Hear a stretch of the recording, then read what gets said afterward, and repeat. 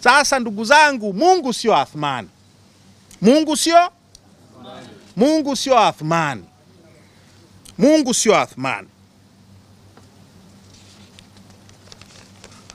Kabla sijazungumza hii ya habari ya Mungu sio Athmani, nisisahau vile vile, kama mnakumbuka, sijawahi kulipwa hata senti moja ya matibabu.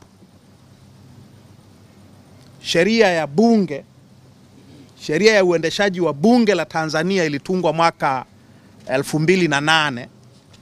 Inasema mbunge akiugua, serikali inawajibika kumpatia matibabu ndani au nje ya Tanzania, ndani au nje ya nchi, pamoja na sheria kusema mbunge ana haki ya, ku, ya kutibiwa kwa gharama ya serikali ndani au nje ya serikali ya, ya nchi.